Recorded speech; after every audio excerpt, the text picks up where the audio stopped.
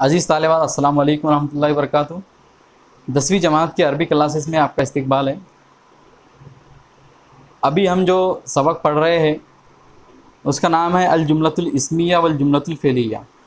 यह आपकी दरसी किताब का ग्रामर के हिस्से का दूसरा सबक है, जो आपकी दरसी किताब में पेज नंबर 54 पर मौजूद है।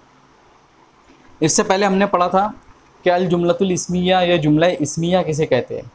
मुख्तसर तौर पे मैं बता देता हूँ कि अलजुमलतुल इसमिया, यानी ऐसा जुमला जो किसी इसम, किसी नाम या किसी नाम या नाउन से स्टार्ट हो या शुरू हो।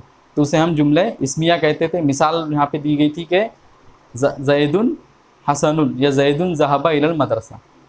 यहाँ पे हम जुमले मुफीदा, यानि मुकम्मल जुमले, ऐसा जुमला जो अपना पूरा माना बता रहा हो, उसकी दूसरी किस्म जुमला फ़ेलिया के बारे में जानेंगे कि जुमला फ़ेलिया किसे कहते हैं।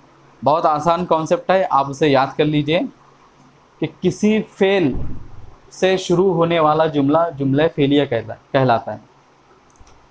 कोई भी जुमला जो किसी फ़ेल से शुरू होगा, उसे हम जुमला फ़ेलिया कहेंगे। फ़ेल कहते हैं किसी काम को, ऐसा लफ्ज़ जिससे किसी काम का करना या होना समझा जाए और उसमें ज़माना भी पाया जाए। मैं एक बार फिर से बताता हूँ फ़ेल ऐसे लफ्ज़ को कहते हैं जिसमें किसी काम का करना या होना समझा जाए और उसमें कोई ज़माना भी पाया जाए। यानी उसके ज़रिए आपको मालूम चले कि काम करा, किया गया या होया और वो किस ज़माने में हुआ यानी माजी में हुआ मुस्तबिल में हुआ या हाल में होगा। तो आपको इसके ज़रिए मालूम हो, उस लफ्ज़ के ज़रिए। यहाँ पे मिसाल दी गई है, जहाबा जैदुन इलल मदरसा।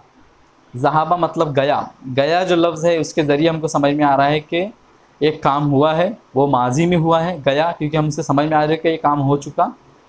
तो जहाबा गया जैदुन जैद मदरसा मदरसे की तरफ़ या मदरसे को? इला मतलब की तरफ़ अल मदरसा मतलब मदरसा स्कूल। जहाबा यहाँ पे देखिए पहला ये जु, ये जो जुमला है वो फ़ेल से स्टार्ट हो रहा है। फ़ेल से शुरू हो रहा है। तो जहाबा, फ़ेल जैदुन इसका फ़ाइल, क्योंकि काम किसने किया? जैद ने किया तो इसलिए जैद को हम फ़ाइल कहेंगे। जहाबा जैदुन जैद गया इलल मदरसा, मदरसे की तरफ़। ये इलल मदरसा, ये होगा मुतल फ़ेल। प्री पोजिशन है, प्री पोजिशन को हम यहाँ पे हम मुतल फ़ेल कहेंगे। एक बार मैं फिर से समझा देता हूँ। अलजुमलतुल फ़ेलिया या जुमला फ़ेलिया एक मुकम्मल माना देने वाला जुमला होता है। और ऐसा जुमला होता है जो किसी फ़ेल से शुरू होता है। जैसे जहाबा जैदुन इलल मदरसा, जैद मदरसे की तरफ़ गया, जहाबा फ़ेल हो गया, जैद फ़ाइल हो गया, इलल मदरसा मुतल के फ़ेल हो गया। अब आइए हम देखते हैं कि आपकी दरसी किताब में इसके ताल्लुक से क्या बताया जा रहा है।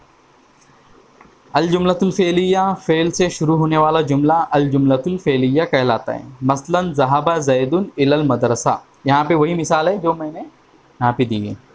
इस जुमले में जैदुन फ़ाइल है और जहाबा फ़ेल है। जैदुन फ़ाइल है और जहाबा फ़ेल है। यानी जैद काम को करने वाला है, फ़ाइल कहते हैं जो काम को कर रहा है, और जहाबा फ़ेल है, यानी जो काम किया जा रहा है उसे कहते हैं। इस जुमले में जैदुन मुबतदा नहीं। इस जुमले में जैदुन मुबतदा नहीं, इसका मतलब क्या है? क्योंकि हमने जुमला इसमिया में देखा था कि इसी तरह का जुमला आया था, लेकिन जैद पहले आया था। तो उसमें जैद फ़ेल से पहले आने की वजह से उसको हम मुफ्तदा कह रहे थे। लेकिन यहाँ पे जैद फ़ेल के बाद आया, इसीलिए हम इसे फ़ाइल कह रहे हैं, ना कि मुफ्तदा तो मुझे उम्मीद है कि आपको ये सबक समझ में आया होगा। अगर आप लोगों को कोई भी इश्काल, कोई भी सवाल हो तो आप हमसे पूछ सकते हैं। अलैक्म।